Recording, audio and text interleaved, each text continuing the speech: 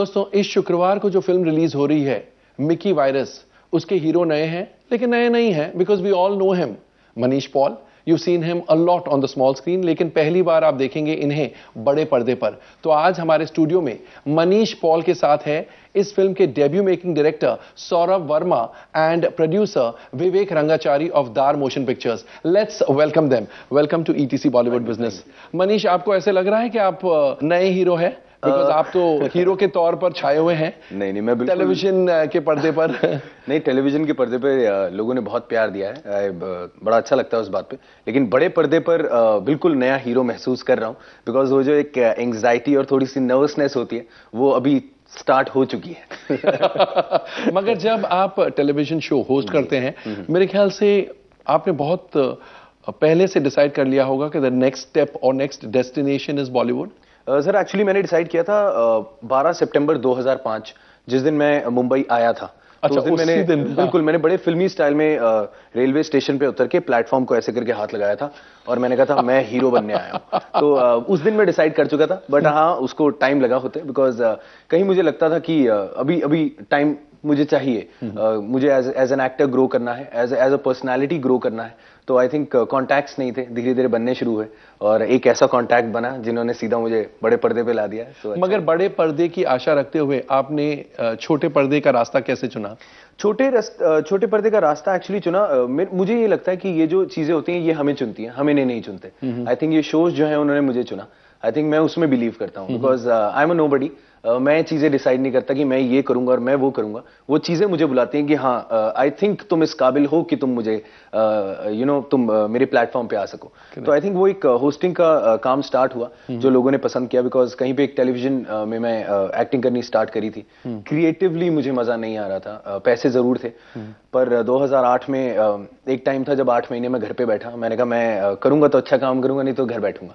तो वो टाइम था जब मैं टेलीविज़न पे एक्टिंग से दूर होके फिर होस्टिंग का काम स्टार्ट हुआ, लोगों ने पसंद करना स्टार्ट किया रेड कार्पेट्स थे और मैं बड़ी भूख से बड़े स्टेज को देखता था कि यहाँ कब मुझे मौका मिलेगा। बिकॉज़ वो अंदर भी नहीं जाने देते। लोग कह रहे तुम रेड कार्पेट पे यहीं से करके चले जाना। मैं कहता ठीक है। तो फिर वहाँ जब मौका मिला तो फिर अच्छा लगा इन लोगों ने काफ़ी प्यार दिया और यहाँ तक आ गए। सौरभ इन्होंने तो छोटे पर्दे का रास्ता चुना to reach the big screen industry में मिथ है कि television stars are television stars and they don't make good Bollywood stars हालाँकि शाहरुख खान, विद्या बालन ऐसे हैं but they are still considered as exception then the rule आपने मनीष पॉल को बतौर हीरो कैसे साइन किया? मतलब आपके मन में ये डर था कि नहीं एक्चुअली डर नहीं था because after marketing so many film I felt कि बहुत सारी मिथ्स है इंडस्ट्री में कि आइटम गाना डाल दो तो ये हो जाता है, उसको करो तो ये हो जाता है लेंथ छोटी रहे तो ये होता है। तो वो आती है कोई फ़िल्म और वो ट्रेंड तोड़ देती है। लाइक मनीष साइड की टेलीविज़न ने उन्हें चुना उन्होंने टेलीविज़न को नहीं चुना। आई थिंक मिकी वायरस भी एक ऐसा ही प्रोसेस रहा जहाँ हम मिले and he was destined to do the film because when I met him we met हम लोग किसी और कारण के हम्म। वजह से मिले थे। और मैंने बोला एक फ़िल्म झलक दिखला जा में जाना चाहते थे। नहीं ये मुझे झलक दिखला जा में लेना चाहते थे। तो मैंने कहा सारे डांस मैं करूँगा ये मना कर रहे तो बट जब मैंने इनको बोला मैं मिकी वायरस कर रहा हूँ तो कहते हैं मेरे घर का नाम मिकी है। तो मैंने कहा नहीं यार पर ये लड़का दिल्ली का है और मालवीय नगर में रहता है। कहता है मैं मालवीय नगर में रहता हूँ। तो मुझे लगा कि यार बहुत ज़्यादा तो नहीं हो रहा कहीं ज़्यादा तो नहीं फेंक रहा। But then I realise that he is the character and इतनी सिमिलैरिटीज थी I think somewhere he was वाकई में आपके घर का नाम मिकी है जी हाँ मेरे घर का नाम मिकी है और मैं मालवीय नगर में पला बड़ा हूँ दिल्ली में। एंड इन्होंने एक ऐसे ही सीन बनाया था ये लड़का जो है ना यार ये घर का घर की सब्ज़ियाँ लेने जाता है इस काम करता तो मैं मैंने कहा सर यू वोंट इमेजिन मैं लिस्ट मेरी मम्मी मुझे बना के देती थी और सब्ज़ी लेने मैं जाता था घर पे। तो मैं वो बातें बता रहा तो कहते हैं सुन मक्खन मत लगा ऐसे नहीं चलेगा। मैंने मैं जेनुइनली बात बता रहा तो हुआ क्या कि मुझे एक हैकर चाहिए था पर वो बहुत देसी चाहिए था जो सब्ज़ियाँ भी लेता है दिन में परचून की दुकान पर बैठता है किराने की दुकान पर बैठता है और रात को हैकिंग करता है। हम्म। वो जो कैरेक्टर्स इतने सिमिलर रहे कि after Manish came into the film बहुत सारे चेंजेस हमने किए हैं। हम्म। जैसे फ़िल्म में जो इनकी मदर का नाम है वो पोपी है। हम्म। इनकी असली मदर का नाम पोपी है। तो ऐसे बहुत इनके बॉसेस के हमने इंसिडेंट्स लिए। तो अब मुझे बड़ा मुश्किल लगता है कि अगर कोई मुझे बोले कि यार ये X Y Z Mickey virus करता है तो कैसा होता है? ये करना ही नामुमकिन है अभी। Character. Vivek ji, uh, Dar Motion Pictures uh, of late you have been associated with films like The Lunchbox, uh, D-Day, mm -hmm. and this looks like a hardcore commercial entertainer. तो you want to have a bouquet of films या how do you select your films कैसे choose करते हैं main criteria जो हमारे film selection की है कि स्टोरी अच्छी लगनी चाहिए। So that genre doesn't matter D-Day की स्टोरी अच्छी थी लंच बॉक्स अच्छी बहुत अच्छी थी स्टोरी एंड मिकी वायरस अगली etcetera the movies that we are doing right now so जो डेढ़ साल पहले जब सौरभ आए थे ये पिक्चर लेकर के he narrated the story he had a script we read the script we loved it a lot and it was also an audience that we wanted to cater to क्योंकि टीनेजर्स 15 से 30 सही की उम्र के जो hacking के बारे में थोड़े बहुत जानते हैं जो जनरली टुडेज यूथ है so that we want to do a film उस उस जोन पे. So it fell into place तो and that's how Mickey is is is हिसाब से आपने उस फ़िल्म को चुना। बिल्कुल। बट सौरभ मुझे ये बताइए यहाँ पर अक्सर ये बातें होती है कि there is a lot of computer illiteracy अब कंप्यूटर इलिटरेसी है और हैकिंग के ऊपर आप फ़िल्म बना रहे हैं तो आपकी टारगेट ऑडियंस कुछ ऐसी है and you are not bothered about the rest या you have taken care of the other audiences also जो कंप्यूटर के बारे में बहुत कुछ नहीं जानती है। uh, नहीं ऐसा नहीं है कि पिक्चर बहुत टेक्निकल है। Film mm-hmm. ऐसी है कि मेरी मदर भी समझे मेरी वाइफ भी समझे। So you taken care of that taken care of the audience ticket counter में बहुत वक्त गुजारा है तो इसलिए ये कोशिश यही है कि किसी को भी फ़िल्म में कहीं दिक्कत ना आए। तो फ़िल्म में एक डायलॉग है जिसमें कहता है ये ये चीज़ इंक्रिप्टेड है। mm-hmm. तो पुलिस वाला पूछता है इंक्रिप्टेड कहता है ये लॉक्ड है। सो इवन हर शब्द अच्छा, को जो मुश्किल है हाँ, हाँ, हाँ. उसको हमने आसान करने की कोशिश की है। कई जगह हैकिंग हमने इस तरह से की है जैसे एक फिल्मी चेज होती है। तो एक बहुत ही अलग तरीके से हमने इस फ़िल्म को ट्रीट किया है। हमने बहुत ज़्यादा अंग्रेज़ी बनाने की कोशिश नहीं की है। इनफैक्ट ये बहुत ज़्यादा देसी है। तो this is film which will have a lot of flavours but आप ये नहीं बोल सकते कि यार टेक्निकली बड़ी स्ट्रांग है तो मुझे समझ में नहीं आएगी। ये नहीं होगा। You were on the commerce side of the film industry आपने बड़े बड़े कॉर्पोरेट्स में काम किया है within the exhibition side distribution side and all suddenly content creation में कैसे आ गए आप? बहुत ज़्यादा दिक्कतें आई बहुत ज़्यादा चीज़ें आई बिकॉज़ क्या हुआ कि कमर्शियल साइड में बैठो तो अलग नज़ारा होता है। बाहर दस लोग वेट कर रहे हैं कुछ कर रहे हैं। जैसे ही बाहर निकलो वो सारे लोग पहचानने से इनकार कर देते हैं। बट uh, एक चीज़ समझ में आई कि स्क्रिप्ट की सेंस बहुत कम लोगों को है। मैं ये नहीं कह रहा मुझे है मैं ये कह रहा हूँ कि जनरली लोग स्क्रिप्ट को बहुत बाद में बात करते हैं। पहले बोलते हैं कौन हीरो है क्या बजट है क्या ड्यूरेशन so है। true so true. And then they talk the seventh question और the eighth point is what is the script तो बहुत ज़्यादा मुश्किल है। In fact that is where I like to give credit to Dar motion pictures की इन्होंने पहले script सुनी। इन्होंने ये नहीं पूछा कौन हीरो है क्या बजट है। पहले इन्होंने स्क्रिप्ट सुनी। स्क्रिप्ट सुनने के बाद इन्होंने बाकी प्रोसेस हुआ। तो इस स्ट्रगल में बहुत टाइम लगा बट मुझे ये लगा कि अगर मुझे कॉमर्स की सेंस है और मुझे पता है कि कंज्यूमर को क्या चाहिए तो वो मिथ्स मेरे दिमाग में नहीं है। मेरे दिमाग में ये भ्रम नहीं है कि यार ये आइटम सॉन्ग डालोगे तो ये बिहार में चल जाएगी या ये करोगे तो दिल्ली में चल जाएगी। वो सारे मिथ्स हटा के एक फ़िल्म एक सिंसियरिटी के साथ बनाई है। एंड आई थिंक इस फ़िल्म में हर कोई सिंसियर रहा है। ये फ़िल्म अंडरडॉग की फ़िल्म है। uh, हमारा हीरो अंडरडॉग है। In terms of real life also he struggled a lot and अगर आप इनकी भी ज़िंदगी देखोगे तो बहुत नीचे से उठ के ऊपर आए हैं Bollywood was your ultimate destination आपने ये सोचा था तो इस किस्म की फ़िल्म साइन करूँ बड़े बजट की फ़िल्म साइन करूँ स्पेशली नया डायरेक्टर है। अब मुझे लॉन्च करेगा या मैं इसे लॉन्च करूँगा? You know those fears were they come in your mind नहीं सर मैं एक्चुअली बताऊँ मैं मैं आप ही के स्टूडियो के बाहर एक सिनेमा हॉल है। वहाँ पे बड़ी सारी सीढ़ियाँ हैं। मैंने वहाँ पे बैठ के दिन गुजारे हैं। नॉट कि मैं वहाँ बैठ के बड़े पाव खा के दिन गुजारे हैं बट वहीं पे बैठ के मैंने स्ट्रगल भी किया है जब मैं वेट करता था लोग मुझे कॉल करेंगे। uh, तो आई थिंक मैं वहाँ से आया लड़का हूँ। uh, तो मैं uh, मुझे नहीं लगा था कि मैं किसी को लॉन्च करूँगा या सर पे ये कर पाएँगे कि नहीं। आई थिंक सर मैं always I always believe in talent मैंने हमेशा एक चीज़ सीखी है। आई थिंक मेरी मदर ने भी मुझे एक ही बात जब मैं मुंबई भी आ रहा था यही कहा था कि काम करने जा रहा है काम पे ध्यान रख बस। मैंने हमेशा वही बिलीव किया है। Uh, मैं यही बिलीव करता हूँ अगर आपका काम अच्छा है I think everybody looks for good talent आपके अच्छे काम को ज़रूर सराहना मिलती है एंड लोग आपको आगे काम करने के लिए बुलाते हैं। How torturous were those days या how interesting were those days actually I don't call it my struggle period मैं मुझे स्ट्रगल बोलते ही ना ऐसा लगता है वहाँ पे चार लोग जो मुझे देख रहे हैं वो कहेंगे ओ sympathy I don't want sympathy मैं चेंबूर में रहता था जब मैं मुंबई आया था एंड uh, काम नहीं था तो uh, सारा दिन किल करना था टाइम तो मैं चेंबूर से डोमेस्टिक एयरपोर्ट वॉकिंग आता था। बिकॉज़ uh, चेंबूर से सांता क्रूज आप वॉकिंग आते थे यानी गुड तीन साढ़े तीन घंटे। जी daily that was a daily routine because मैं बसेस uh, में ट्रैवल बड़ा मुश्किल था मेरे लिए। ट्रेन में कर नहीं पाता आई एम वेरी क्लॉस्ट्रोफोबिक तो मैं uh, और बसेस में क्यों नहीं करते थे? मुझे क्लॉस्ट्रोफोबिक बहुत लगता अच्छा, है बसेस में भी। हाँ मतलब मैं अगर बहुत भीड़ हो जाती है तो मैं डर जाता हूँ। तो uh, मैं better get used to it because आप जब स्टार बनेंगे बहुत भीड़ होगी। इनफैक्ट जितने रोड शोज़ में हमें एग्जैक्टली एग्जैक्टली वो हो रहा है बट मैं फिर भी मुझे होता था चलो टाइम भी किल होगा और थोड़ा कार्डियो भी हो जाएगा। तो मैं एक एक मैंगो ड्रिंक आती थी दस रुपए की उसकी बॉटल दस रुपए का एक चने का पैकेट और एक बैग में रखता था जिसमें मेरा एक वाटर स्प्रे होता था क्योंकि मेरे बाल लंबे रखे थे। तो मैं चलता हुआ आता था धूल में और वहाँ से मैं एक ऑटो ले लेता था यहाँ तक। और यहाँ पे आके यहीं पीछे एक वो है जनरल टॉयलेट है। मैं उसमें जाके बाल स्प्रे करके एंड मुँह धो के और बाहर बैठ जाता था कि अभी मुझे लोगों को मिलना है। और मुझे बहुत लोग टाइम देते थे लेकिन हाँ थोड़ी देर में हाँ आधा घंटा आधा घंटा। तो मैं सारा दिन यहाँ पे बैठता था। आई थिंक रहा है आई थिंक थोड़ा डिफ़िकल्ट रहा है but still I I felt good मुझे उसमें भी बड़ा मज़ा आया। बट लोग जब प्रॉमिस करके नहीं आते थे या तीन घंटे चार घंटे रुकने को कहते थे ह्यूमिलिएशन होता था। मैं मतलब ऐसे लगता था कि दिस इज़ ह्यूमिलिएटिंग एक्सपीरियंस कई बार थोड़ा मैं भाग के वापस जाऊँ मम्मी के पास। आई थिंक मुझे ह्यूमिलेशन एक बार हुआ था जब मैं एक एक पार्टी में गया था।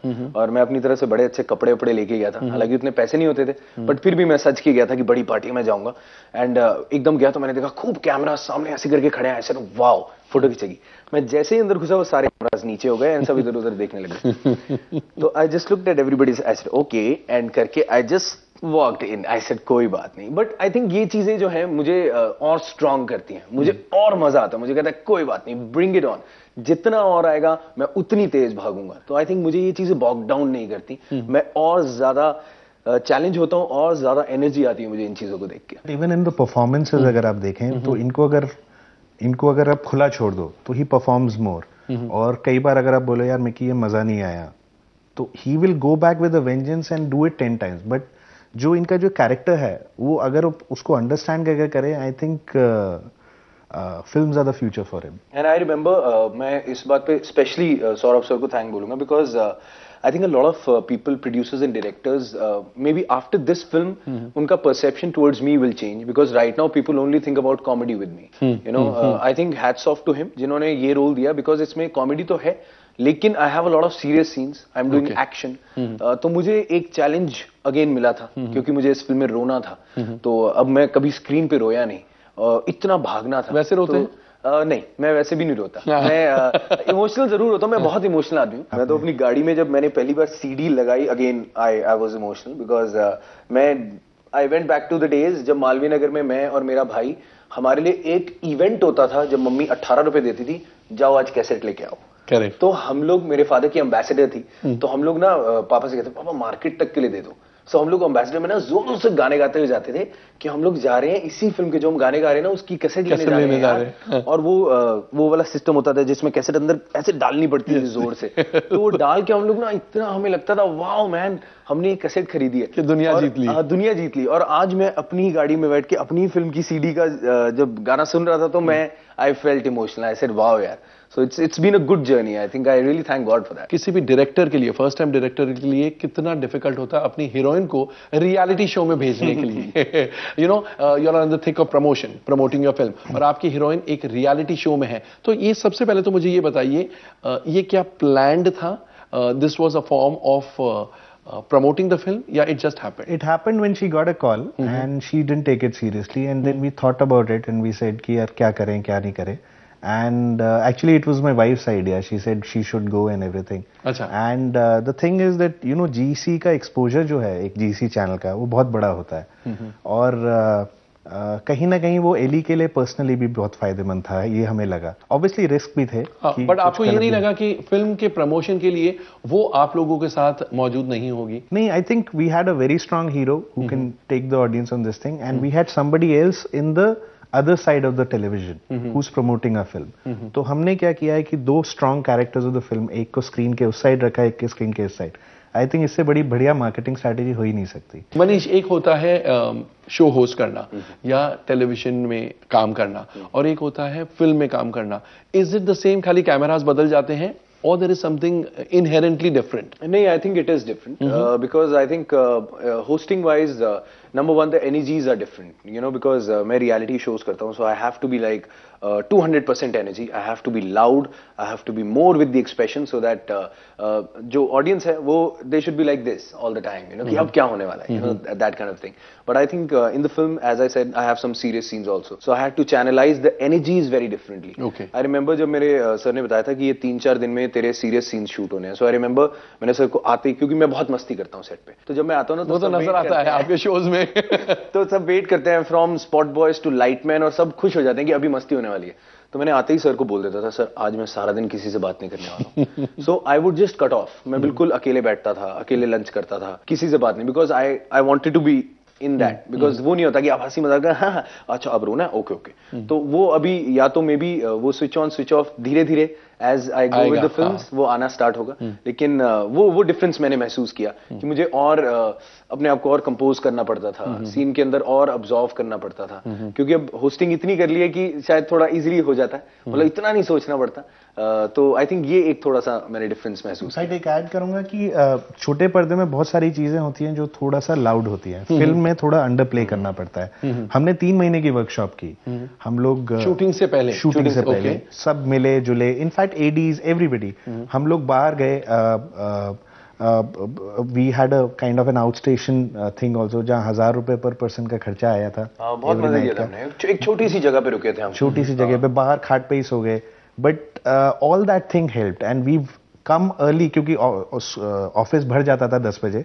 तो हम छह बजे आते थे लॉक करते थे। We use to think because acting करना आसान है। एक्टिंग को रोकना और ज़्यादा मुश्किल है। तो कई सीन्स में एक्टिंग नहीं करना। तो वो बहुत ज़्यादा एक एक प्रोसेस रहा है। जो I think when you see the film आप देखेंगे इन्होंने बहुत बखूबी निभाया है। नहीं और मैं इस बात पे बोलूँगा बिकॉज़ मुझे एक चीज़ जो सब बार बार पूछ रहे थे तूने फ़िल्म करी है? होस्ट तो नहीं लग रहा तू उसमें। बिकॉज़ इतनी छाप एज अ होस्ट लोगों को आती है तो आई थिंक उस पर मैं सौरभ सर को ज़रूर बोलूँगा बिकॉज़ सर ने इस चीज़ का मैं बार बार बोलता था मैंने कहा सर इस चीज़ का ज़रूर ध्यान रखना। सो आई थिंक उसमें सर मुझे बहुत बताते रहते इतना कर लेना।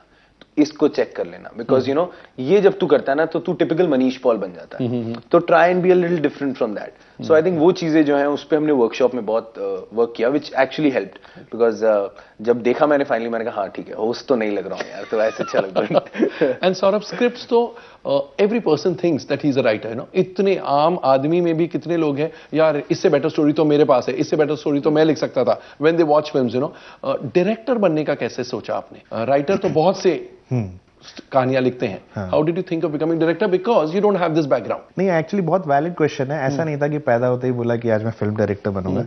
पर अ, मैंने स्क्रिप्ट्स बहुत सुनी। तो सुनने में ये लगा कि कहीं ना कहीं एक कमी है। अ, मैं ये नहीं कह रहा कि स्क्रिप्ट्स खराब थी। स्क्रिप्ट्स बहुत अच्छी थी। जैसे मैंने चीनी कम की जब स्क्रिप्ट पढ़ी मुझे लगा बहुत ही बढ़िया लिखी गई स्क्रिप्ट थी। बट एक जो अच्छी स्क्रिप्ट होती थी वो बहुत ज़्यादा जेलेसी लाती थी कि यार ऐसा कुछ करना चाहिए। और ज़्यादातर जो खराब स्क्रिप्ट होती थी उससे लगता था, यार, यही स्टैंडर्ड है। स्पेलिंग मिस्टेक्स है ग्रामेटिकल वो है डिटेलिंग नहीं है, चीज़ें नहीं है। तो लगा, यार, शायद हम खुद ट्राई करते हैं। और जब नौकरी छोड़ी, लोगों के पास गए तो सबने बोला, यार ऐसे करो, वैसे करो, ये करो। तो मुझे ये लगा कि लोग ना बंधन में बंधे हुए हैं। कि यार ये करने से पिक्चर चल जाती है ये set, करने से सेट आइडियाज़ है। सेट आइडियाज़ है। और कॉर्पोरेट्स में जितने नहीं है बाहर वालों के ज़्यादा है। तो जो बेचने भी जा रहा है माल वो ये करने लेके आ रहा है कि यार ये पिक्चर है चार गाने हैं इतना लंबा है इंटरवल पॉइंट ये है तो वो एक बहुत ज़्यादा बन गया था। तो मैंने बोला जिस बंधन को हमने बनाया है अगर उसी को तोड़ के एक फ़िल्म बनाए तो कैसी बनेगी? और वहाँ से मिकी वायरस का एक आइडिया शुरू हुआ। ऐसा कोई प्रयत्न नहीं था कि यार हैकिंग पे फ़िल्म बनाएँ बिकॉज़ अलग है। फ़िल्म बहुत ज़्यादा कन्वेंशनल है yet lot of things in the film are unconventional तो एक कन्वेंशनल पैरामीटर में अनकन्वेंशनल फ़िल्म बनाना बहुत कॉम्प्लिकेटेड वर्ड यूज़ कर रहा हूँ बट एक बड़ा आई मुश्किल कैन हुआ। Understand what you mean to say yes तो ये एक प्रयत्न है चाहे वो बैकग्राउंड स्कोर हो चाहे वो मनीष पॉल की परफॉर्मेंस हो चाहे ड्यूरेशन ऑफ़ द फ़िल्म हो चाहे गाने हो क्योंकि एक बार मैंने एक बड़े लंबी फ़िल्म है? दो घंटा पंद्रह मिनट। और जिसमें चार या पाँच गाने बट बहुत छोटे छोटे and they they are part of the narrative मैंने एक कॉर्पोरेट स्टूडियो को पिक्चर सुनाई तो उन्होंने कहा इस पिक्चर में से गाने हटा दो। तो मुझे बड़ी खुशी हुई कि लोग कमर्शियली ऐसा नहीं देख रहे। बट मैंने कहा नहीं गाने पार्ट ऑफ़ द फ़िल्म है। वो एक प्रोसेस को आगे बढ़ाते हैं। और उसको हमने इंक्लूड किया और अब I think everybody is agreeing to it and again like I said hats off to Dar that they allowed me to do something They give you completely free hand. Yeah. yeah. But Dar Motion Pictures and आपका collaboration right in the beginning हो गया. ऐसा नहीं कि you started out and then they joined you. No, no, no. They they were there from the scripting. Even before scripting, अगर uh, uh, मैं विवेक के Elder brother Arun Rangachari के बारे में बोलूँ उन्होंने बोला कि यार हैकिंग है तो गेमिंग के बारे में कुछ होना चाहिए तो हमने एक सीन डाला है फ़िल्म में जहाँ मिकी का इंट्रोडक्शन है is playing a very very interesting game called kung fu Chameli तो वो वो उनका कंट्रीब्यूशन है। तो ऐसे बहुत सारे इनके इनपुट्स आते आए। हैं। और हमने फ़िल्म को भी बहुत ज़्यादा छाना है। अब आई होप बहुत ज़्यादा ना साउंड करे ये पर छाना है कि यार इस पॉइंट पे ये क्यों है? इस पॉइंट पे ये क्यों है? कॉन्फ्रेंस रूम को पॉजिटिवली यूज़ करके 11 लोगों के साथ बैठ के बहुत ज़्यादा डिबेट्स की है कि यार ये क्यों है ऐसा? Very और nice. हर चीज़ का जवाब दिया है। तो इसीलिए शायद मुझे है कि ये ये वो एग्ज़ाम है जिसके आंसर्स मुझे आते हैं। सो लेट्स सी अब ऑडियंस को कितना पसंद आता है। मेरे ख्याल से ऑडियंस को भी पसंद आएगी जब इतना छाना है और इतनी सिंसेरिटी से कोई फ़िल्म बनी है सिंसेरिटी पेज मुझे ऐसा लगता है it will pay this time too yes wishing all all of you the very best thank you very much thanks दोस्तों आज के लिए बस इतना ही। हमारी मुलाकात कल फिर होगी ईटीसी बॉलीवुड बिज़नेस के एक और मज़ेदार एक्साइटिंग एपिसोड में।